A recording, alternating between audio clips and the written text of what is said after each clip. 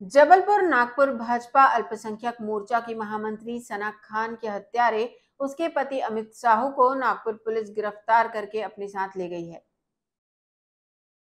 Nagpur police ने बताया कि सना खान अपने घर से एक तारीख की रात को अमित साहू के घर जबलपुर के लिए निकली थी। दो तारीख की सुबह जबलपुर पहुंचकर उसने अपने परिवार वालों को जानकारी दी थी। इसके बाद वो अमित साहू के बिलहरी वाले घर पहुँच गई घर पहुँचने के बाद उसका आरोपी पति अमित साहू के साथ विवाद हुआ था, जिसमें अमित साहू ने बाँस के डंडे से सना के सर पर वार किए। सर पर ज़्यादा चोट लगने के बाद वो ज़मीन पर गिर गई थी और अमित साहू घर को लॉक करके चला गया।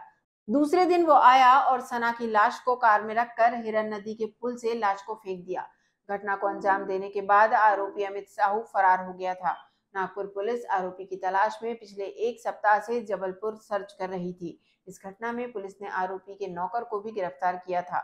नागपुर पुलिस ने आरोपी अमित साहू को गिरफ़्तार करने के बाद घटना स्थल और जहाँ से उसने मृतिका खान की लाश को फेंका था, उस स्थान का निरीक्षण किया। इस घटना के बाद से मृतिका सना खान की लाश अभी तक पुलिस ने बरामद नहीं की है। पुलिस हिरन नदी के चप्पे चप्पे को खंगाल रही है। घटनाक्रम ऐसे है इसमें कि सना खान की मम्मी जो है, निशा खान, ये हमारे तीन तारीख हमारे मानकापुर पुलिस स्टेशन में आई। उनका ये कहना था कि मेरी लड़की जबलपुर गई है करके और वहाँ पे उसके जान को कुछ तो भी कम ज़्यादा हुआ है करके। इसके ऊपर से हमने मिसिंग दाखिल की मिसिंग दाखिल करके हमारी टीम जबलपुर रवाना की।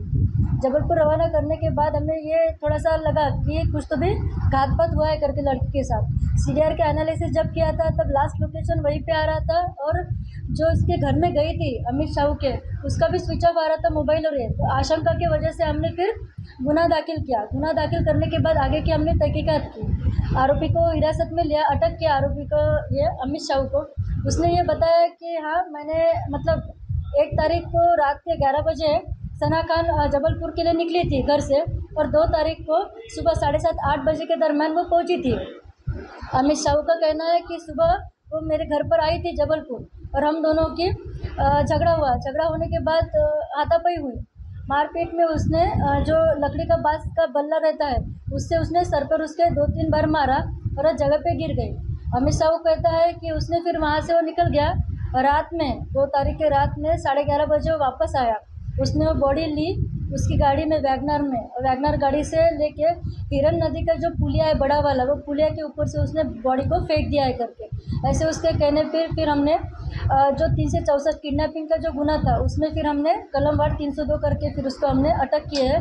आगे की जानकारी हम ले रहे हैं। इंट्रोगेशन चल रहा है आरोपी का। मानकापुर के जो हमारे टीम थे, उसका बहुत ही अच्छा हमारे ये रहा है। उसमें पी एस आई शाहकार थे। और उस प्रकार से हेड कांस्टेबल आनंद मेजर थे। उनका भी बहुत ये रहा। उस प्रकार से जो जोन टू ऑफ़िस में विक्रम था, जो सीडीआर का लगातार एनालिसिस करता रहा और लोकेशन हमको भेजता रहा, हमारे यहाँ पे पीसी अनूप भी है। उनके सब सहयोग से हमने आरोपी का लोकेशन लेके आरोपी को हिरासत में लिया, गिरफ़्तार किया।